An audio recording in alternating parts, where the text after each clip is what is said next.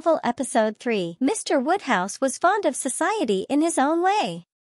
He liked very much to have his friends come and see him and from various united causes, from his long residence at Hartfield, and his good nature, from his fortune, his house, and his daughter, he could command the visits of his own little circle, in a great measure, as he liked.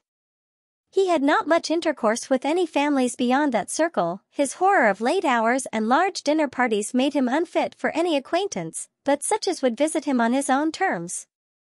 Fortunately for him, Highbury, including Randalls in the same parish and Donwell Abbey in the parish adjoining, the seat of Mr. Knightley, comprehended many such.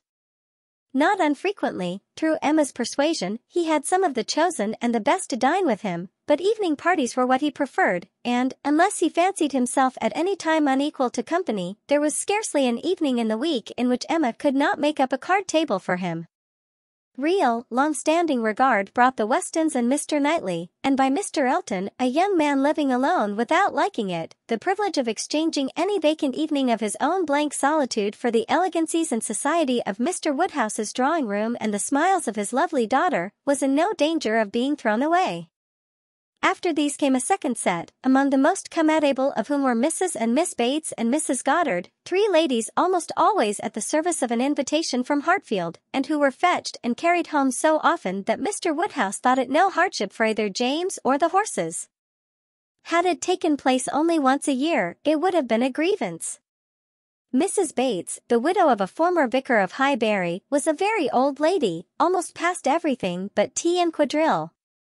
She lived with her single daughter in a very small way and was considered with all the regard and respect which a harmless old lady, under such untoward circumstances, can excite. Her daughter enjoyed a most uncommon degree of popularity for a woman neither young, handsome, rich, nor married.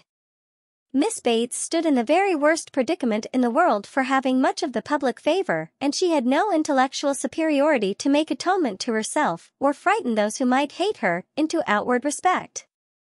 She had never boasted either beauty or cleverness. Her youth had passed without distinction, and her middle of life was devoted to the care of a failing mother and the endeavor to make a small income go as far as possible. And yet she was a happy woman, and a woman whom no one named without goodwill.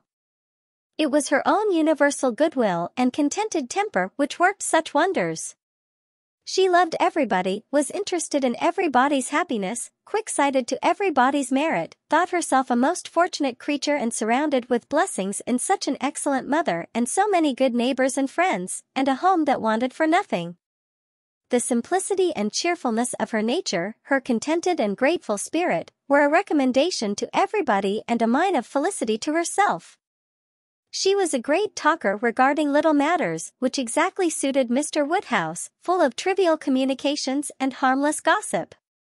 Mrs. Goddard was the mistress of a school, not of a seminary, or an establishment, or anything which professed, in long sentences of refined nonsense, to combine liberal acquirements with elegant morality upon new principles and new systems, and where young ladies for enormous pay might be screwed out of health and into vanity, but a real, honest, old-fashioned boarding school, where a reasonable quantity of accomplishments were sold at a reasonable price, and where girls might be sent to be out of the way and scramble themselves into a little education without any danger of coming back prodigies. Mrs. Goddard's school was in high repute, and very deservedly, for Highbury was reckoned a particularly healthy spot. She had an ample house and garden, gave the children plenty of wholesome food, let them run about a great deal in the summer, and in winter dressed their chilblains with her own hands. It was no wonder that a train of twenty young couples now walked after her to church. She was a plain, motherly kind of woman who had worked hard in her youth and now thought herself entitled to the occasional holiday of a tea visit and having formerly owed much to Mr. Woodhouse's kindness, felt his particular claim on her to leave her neat parlor, hung round with fancy work whenever she could, and win or lose a few sixpences by his fireside. These were the ladies whom Emma found herself very frequently able to collect, and happy was she, for her father's sake, in the power, though, as far as she was herself concerned, it was no remedy for the absence of Mrs. Weston. she was delighted to see her father look comfortable and very much pleased with herself for contriving things so well, but the quiet prosings of three such women made her feel that every evening so spent was indeed one of the long evenings she had fearfully anticipated. As she sat one morning, looking forward to exactly such a close of the present day, a note was brought from Mrs. Goddard, requesting, in most respectful terms, to be allowed to bring Miss Smith with her, a most welcome request, for Miss Smith was a girl of 17, whom Emma knew very well by sight and had long felt an interest in, on account of her beauty. A very gracious invitation was returned, and the evening no longer dreaded by the fair mistress of the mansion. Harriet Smith was the natural daughter of somebody.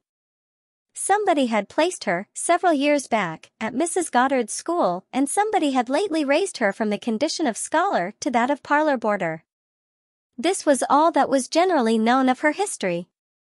She had no visible friends but what had been acquired at Highbury and was now just returned from a long visit in the country to some young ladies who had been at school there with her. She was a very pretty girl, and her beauty happened to be of a sort which Emma particularly admired. She was short, plump, and fair, with a fine bloom, blue eyes, light hair, regular features, and a look of great sweetness, and before the end of the evening Emma was as much pleased with her manners as her person, and quite determined to continue the acquaintance.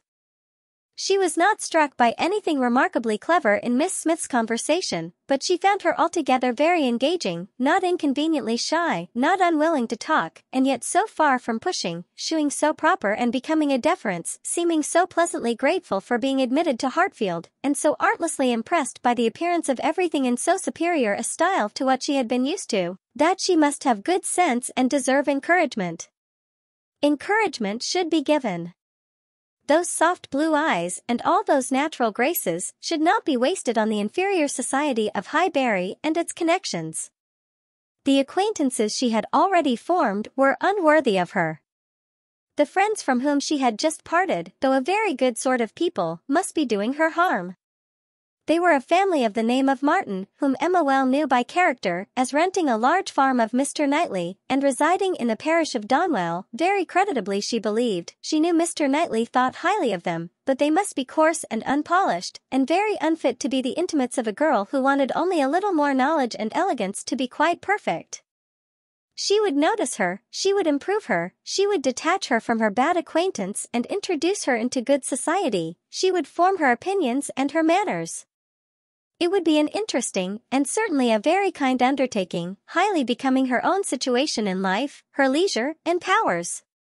She was so busy in admiring those soft blue eyes, in talking and listening, and forming all these schemes in the in-betweens, that the evening flew away at a very unusual rate, and the supper table, which always closed such parties, and for which she had been used to sit and watch the due time, was all set out and ready, and moved forwards to the fire, before she was aware with an alacrity beyond the common impulse of a spirit which yet was never indifferent to the credit of doing everything well and attentively, with the real goodwill of a mind delighted with its own ideas, did she then do all the honors of the meal and help and recommend the minced chicken and scalloped oysters, with an urgency which she knew would be acceptable to the early hours and civil scruples of their guests.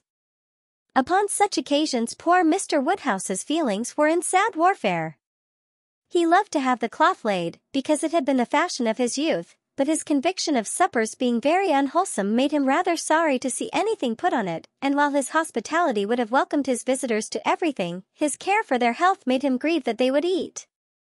Such another small basin of thin gruel as his own was all that he could, with thorough self-approbation, recommend, though he might constrain himself, while the ladies were comfortably clearing the nicer things, to say. Mrs. Bates, let me propose your venturing on one of these eggs. An egg boiled very soft is not unwholesome. Serle understands boiling an egg better than anybody. I would not recommend an egg boiled by anybody else, but you need not be afraid, they are very small, you see, one of our small eggs will not hurt you. Miss Bates, let Emma help you to a little bit of tart, a very little bit. Ours are all apple tarts. You need not be afraid of unwholesome preserves here. I do not advise the custard. Mrs. Goddard, what say you to half a glass of wine? A small half glass, put into a tumbler of water?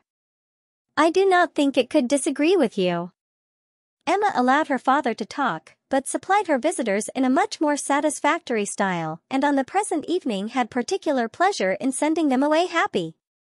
The happiness of Miss Smith was quite equal to her intentions. Miss Woodhouse was so great a personage in Highbury that the prospect of the introduction had given as much panic as pleasure, but the humble, grateful little girl went off with highly gratified feelings, delighted with the affability with which Miss Woodhouse had treated her all the evening and actually shaken hands with her at last.